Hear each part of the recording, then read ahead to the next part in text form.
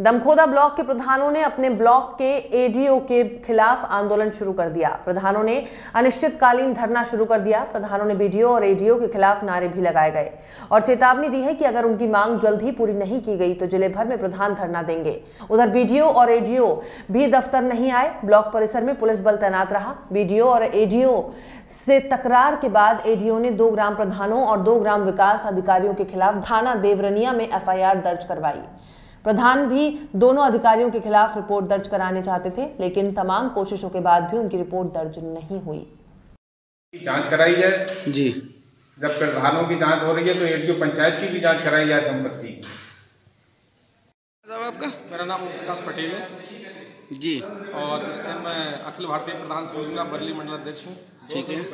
क्या मामला है यहाँ पर?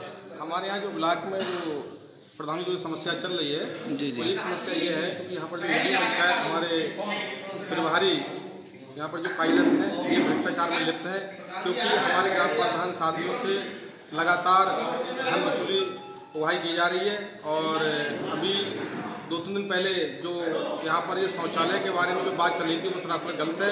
केवल मुद्दा यहाँ पर भ्रष्टाचार और वसूली का था। इसी बात को लेकर प्रधान साथी ने कहा सब लोगों ने मिलकर ये ऐसा गलत है, क्योंकि पाँच है सितंबर ये हम नहीं दे पाएँगे।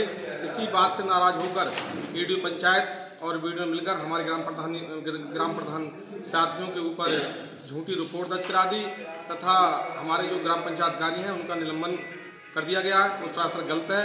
और जब हमारा ये धरना अनिश्चितकालीन धरना है, जब तक हमारे ग्राम पंचायत कार्य और हमारे ग्राम प्रधानों का